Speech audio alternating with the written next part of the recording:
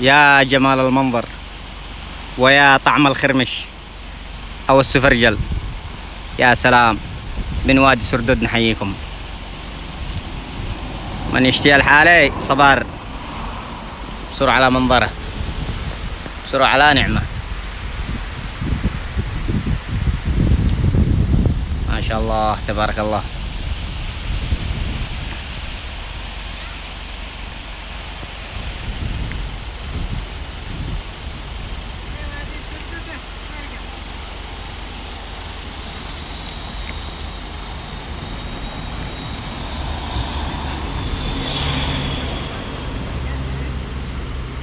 من خيرات بلادي.